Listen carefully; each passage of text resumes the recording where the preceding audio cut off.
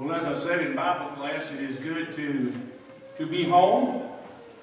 We did have a very good trip.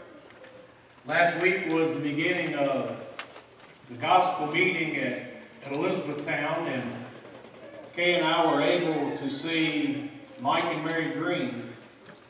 Uh, Mike and his wife were in Elizabethtown for about four years when I was there as the associate minister, and it was always, it's always good to see old friends, but especially those who were your co-laborers in the church. As I said earlier, it's good to see all of our visitors out. Especially want to call and say how good it is to see Sister Teriyaki Anderson. They're sitting back in the back, so uh, we're glad that she is able to get out and feeling well enough to be able to be with us. Appreciate Brother Kenny teaching our class last Sunday morning. Understand it was an intense period of questions and answers. A review of sorts of the things that we had studied in the book of Genesis. Also to Brother Joe Venable for filling the pulpit.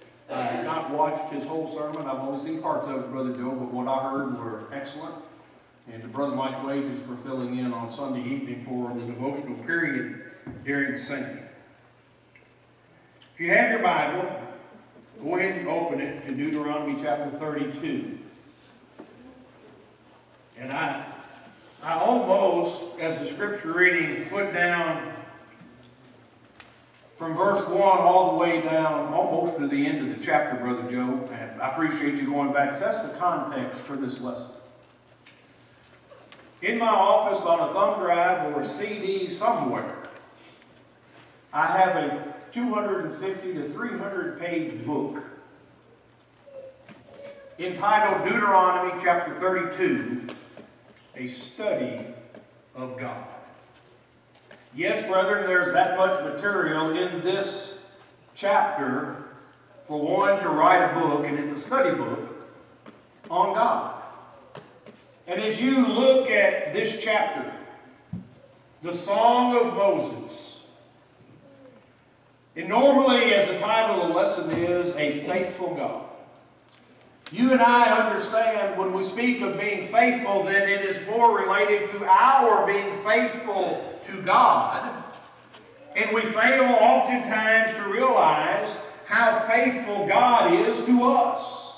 We place so much emphasis, and rightly so, on why we should be faithful. But if it were not for the faithfulness of God, we would have no reason to be faithful in return.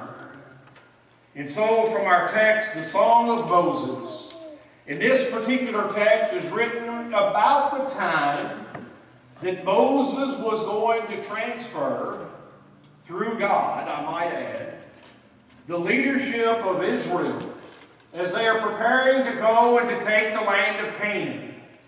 And so a transition from Moses to Joshua is going to take place.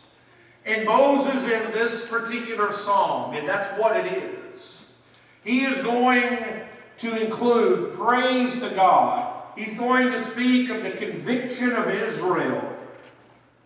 However, the gist of the whole passage is the fact that God reigns supreme that he loves his people, and that he will take vengeance on his enemies. Now, brethren, understand something. I'm not going to cover the whole chapter of De Deuteronomy 32 this morning. Unless you want to be here from now until next Sunday. That's how long it would take to cover this one chapter. If I could cover it in that amount of time, because most of you know how I am, I, I, I wouldn't be able to do that it would probably take more like uh, two or three months to cover the whole chapter. And but I want to focus today specifically on verse 4. Because the verse 4 has three phrases in it that are very important to us, just as it was to Moses. Would you notice, first of all, what he says? He is what? Notice it says, the rock. God is the rock. And this rock that is represented here It is something that is solid. It is something that is immovable. It cannot be shifted with the sinking sands or the shifting winds. The same concept of that verse, that word rock, is used in Matthew chapter 16 and in verse 18. You remember what that says, I hope. If not, turn over there. You'll remember that is at the time when Jesus came. And he asked the apostles, Who do men say that I am? And you remember the response that was given. Well, some say that you are John the Baptist. Others say that you are Elijah. And even others say that you are just one of the great prophets. So mankind at that time was confused as to who Jesus was. But then he pointedly asked those men, Who do you say that I am?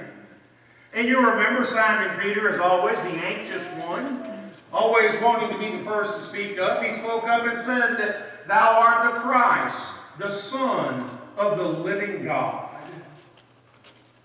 You remember Jesus' words?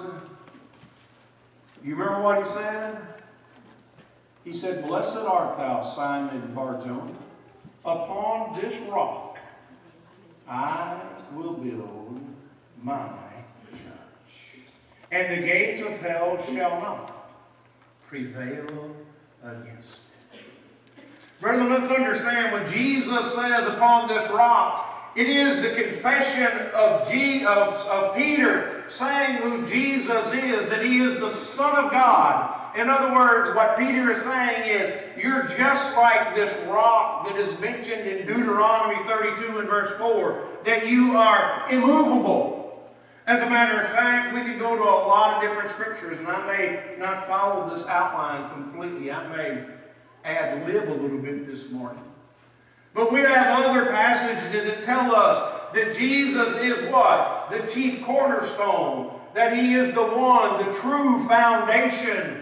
And because of who he is, he is a rock that is immovable, just as his Father was.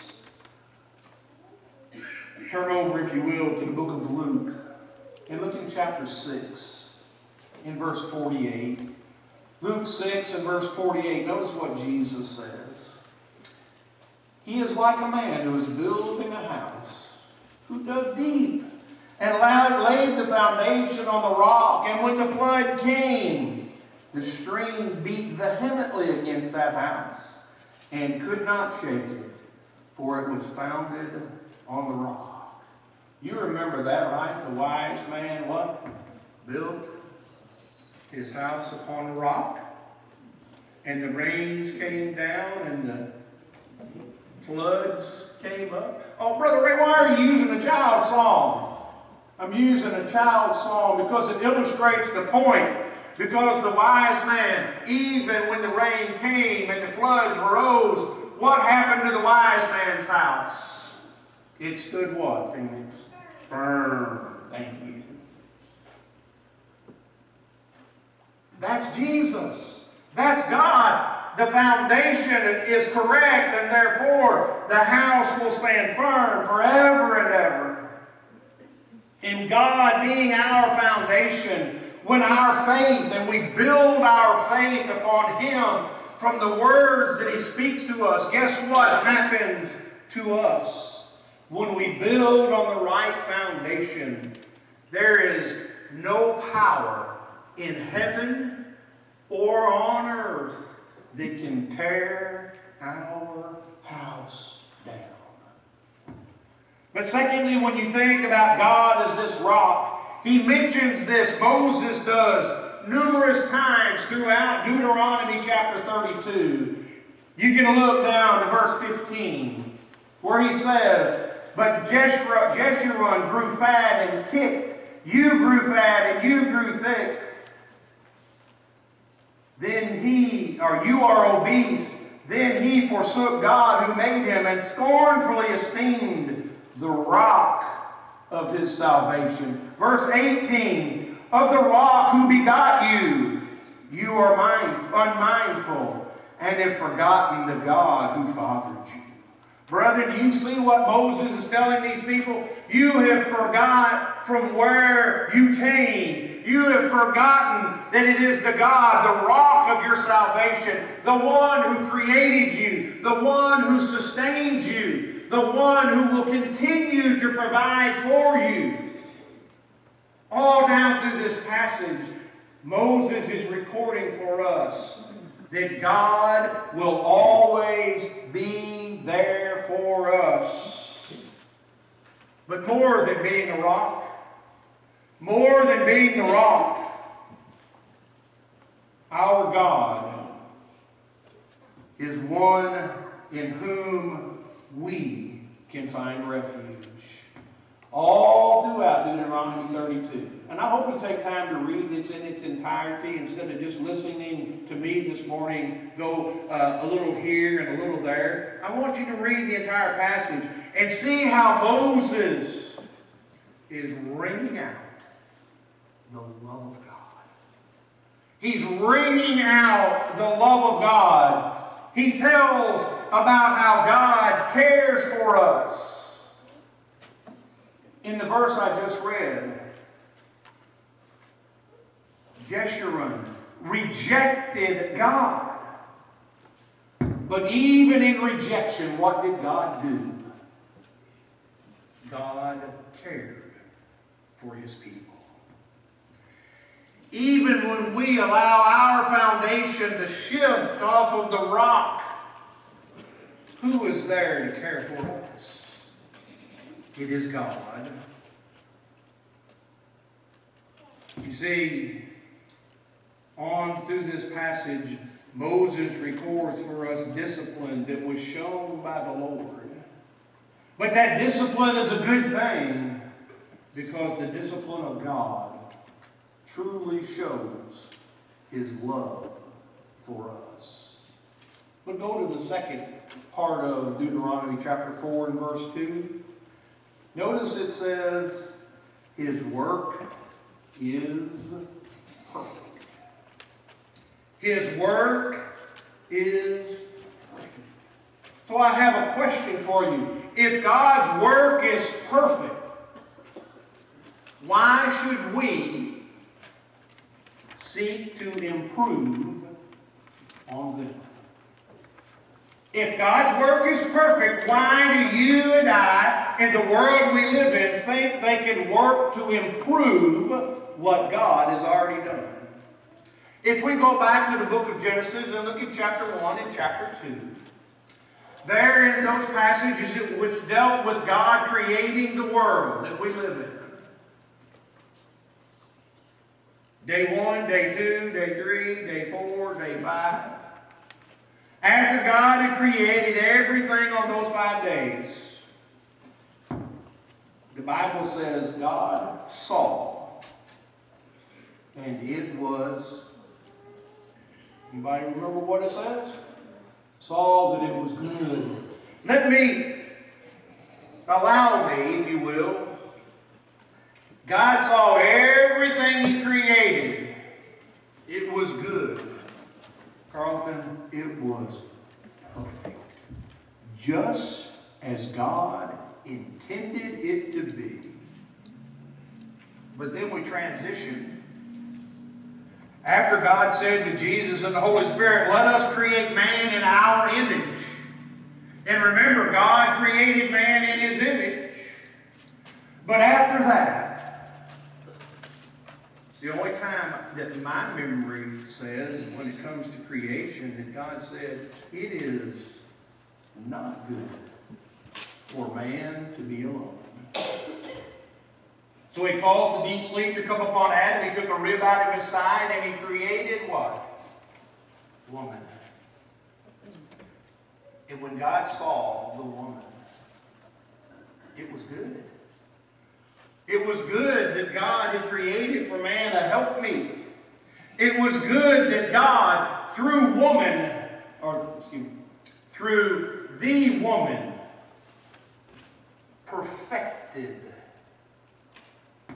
That's why he says, Therefore shall a man leave his mother and father and cleave unto his wife, and they two shall become one flesh. God's plan, everything was perfect except he saw man was alone, so he fixed that. Why do we seek to improve upon his perfect work?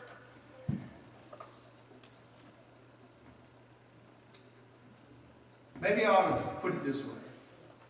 When you and I seek to improve, or we fail to do what He has called us to do, are we not in essence saying, we know a better way than you?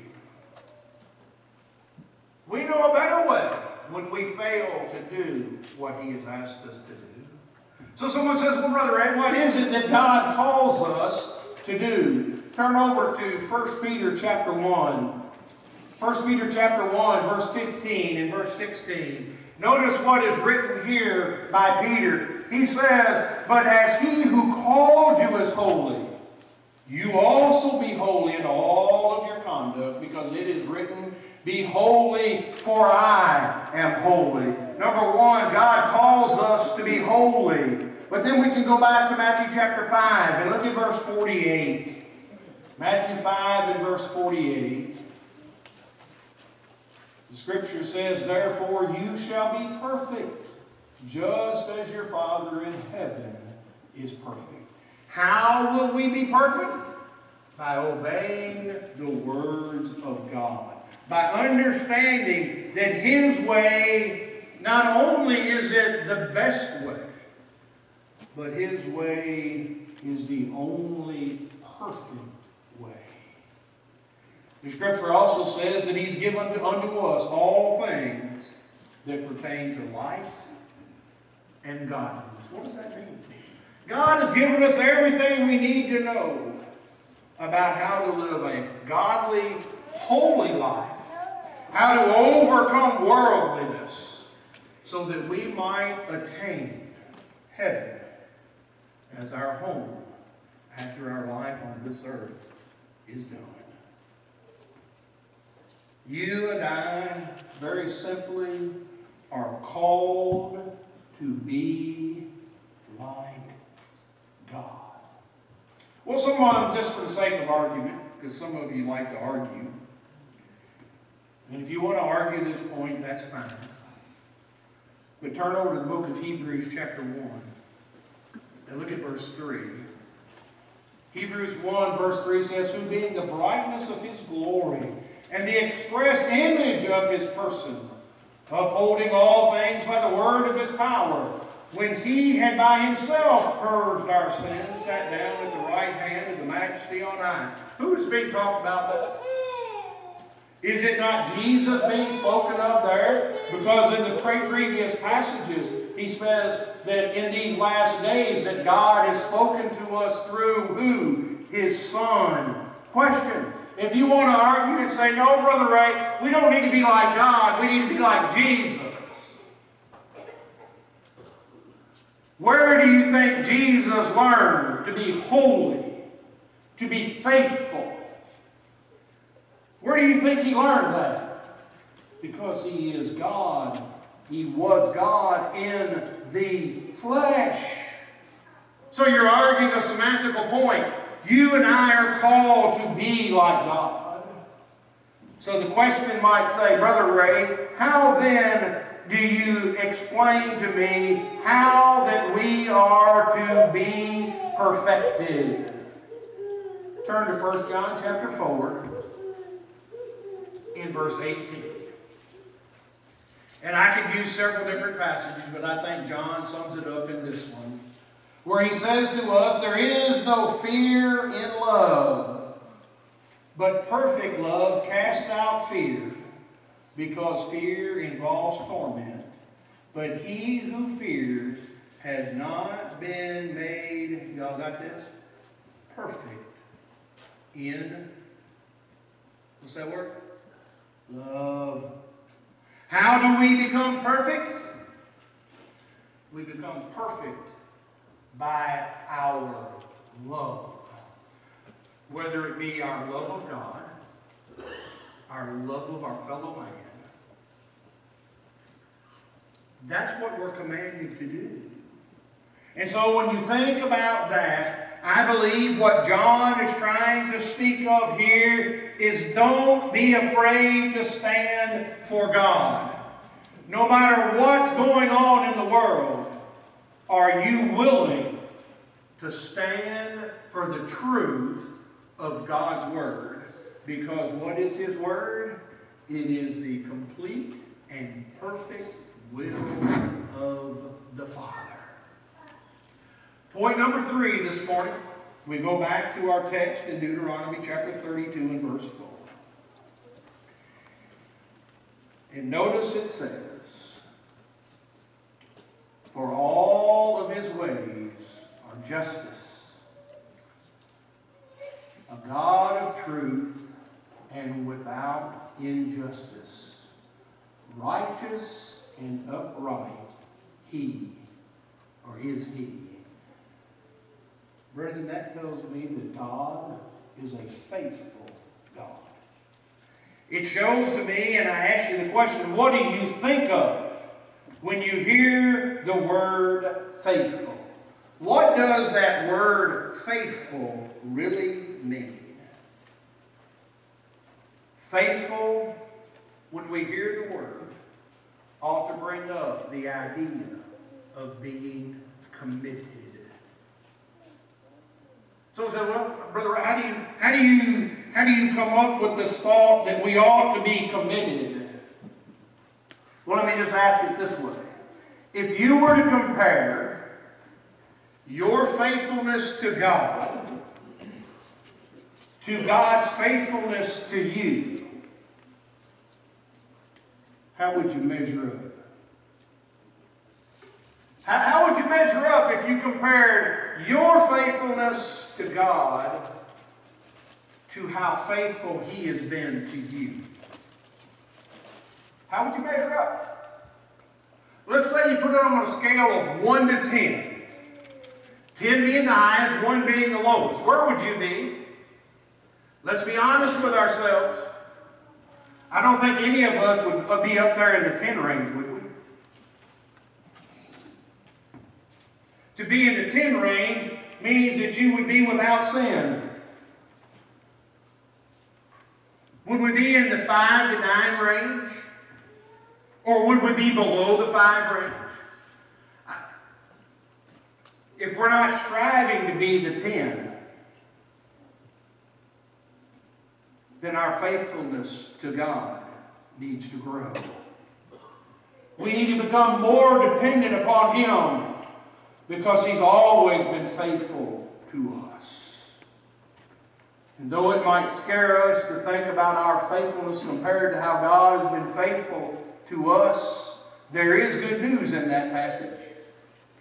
There is good news in that statement. We can always what? Improve. Why are you here this morning? Maybe I ought to ask it that way. What is your purpose for being here this morning? Oh, someone's going to say, Brother Ray, I'm here to show my faithfulness. Okay. I'll give you that one. But is that why we're really here? We ought to be here so that we can grow our faithfulness. You see, worship coming together is an outward sign but it's not all there is to being faithful. That's what some people think. Well, I went to church this morning. I showed my faithfulness. I partook of the Lord's Supper. I paid my fire insurance. Is that what being faithful is all about? Being faithful, yes, coming together is part of it. But the biggest part of being faithful is when you go out those doors on the right and the doors on the left, and you go out through the double glass doors at the front, being faithful is included in what you do when you're outside this assembly. There's a whole lot more to faithfulness than just coming to church. How has God been faithful to us? In what ways has God been faithful to us? 2 Thessalonians chapter 3 and verse 3 says, He strengthens us and He protects us. 2 Timothy chapter 2 and verse 13. I, I want to turn, I want to read that 2 Timothy chapter 2, and I want you to look at verse 13. This verse sums up what God does for us. It says, if we are faithless, what does it mean to be faithless? That can include having no faith. That can include having a weak faith. That can include having a mediocre faith. If we are faithless, the Bible says he will remain faithful. No matter what I do, no matter when I sin against God, He's always there for me, being faithful. He is faithful to His promise. If we walk in the light as He is in the light, if we are trying to improve our faith, the Bible says what? If we walk in the light as He is in the light, He is, what's that word? Y'all know what that next word is without me telling you? The Bible says He is faithful to forgive us. Did you catch that? As long as, as long as I'm trying to increase my faith and serve Him in the way that He wants me to serve Him, even when I become faithless, that's what sin does to us. Sin shows a lack of faith. God is faithful to forgive us. Bible also says that we must confess those sins that are of a public nature before an assembly and before Him. We've got to acknowledge that our faith was gone. 1 John 1, verse 9. How can I demonstrate my faith? Number one, I can be dependent upon God. We go back to Romans chapter 12. Romans chapter 12 and look at verse 12.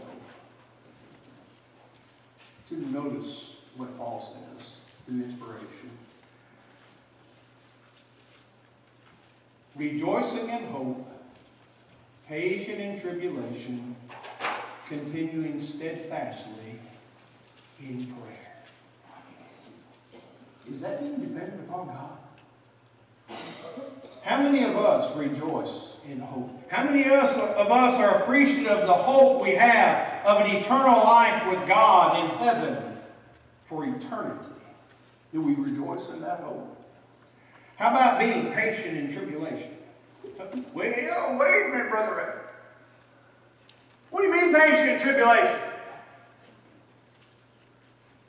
The Bible says that we're all going to go through tribulation and trials, doesn't it? Being faithful in tribulation is our reaction to what we have to go through. And I like the last one too, by the way.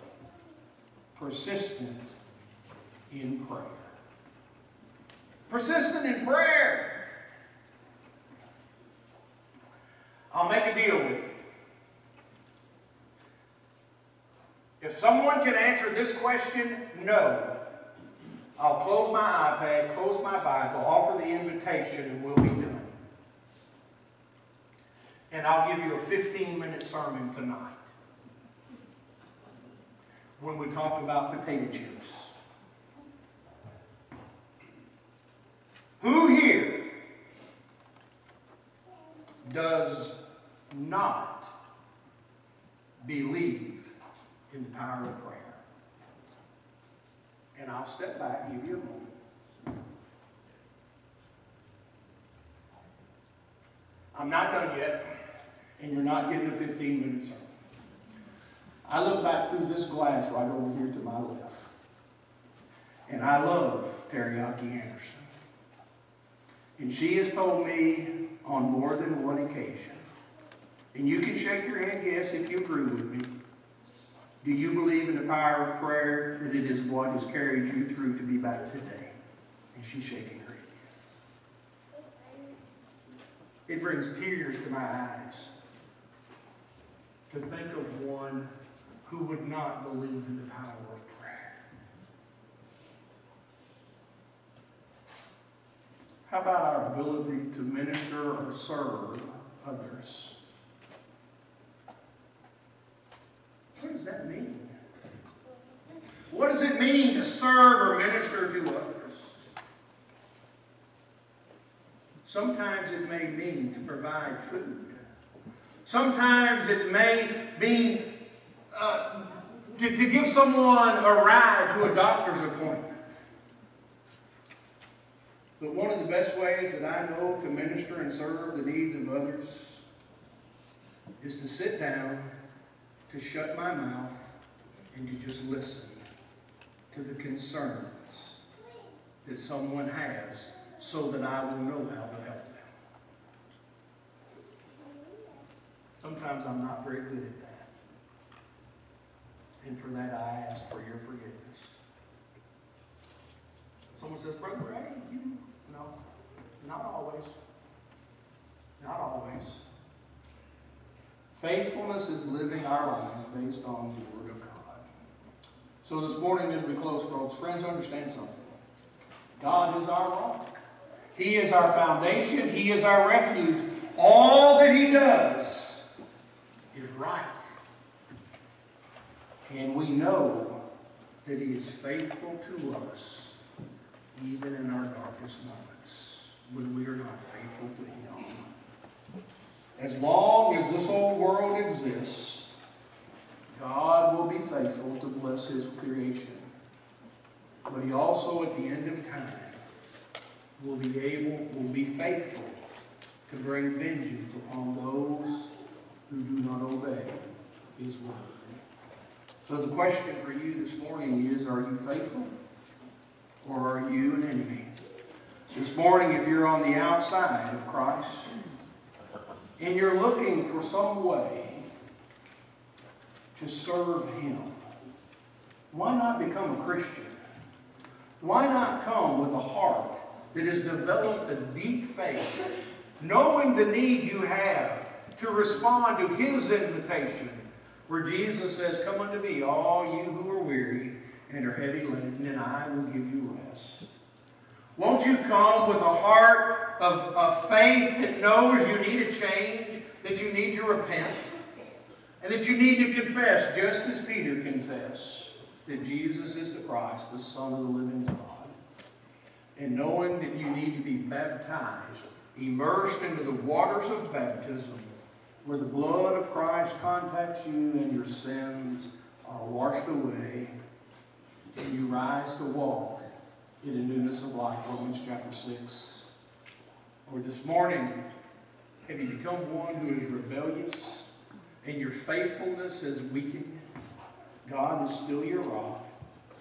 God is still there to meet your needs. You can come again with a heart that's penitent, as Brother Joe said in his prayer. Again, the desire to leave the evil ways, to live the way. Confess your sins if they're of a public nature before this assembly and before God. Will you let us pray with you? Will you let us pray for you?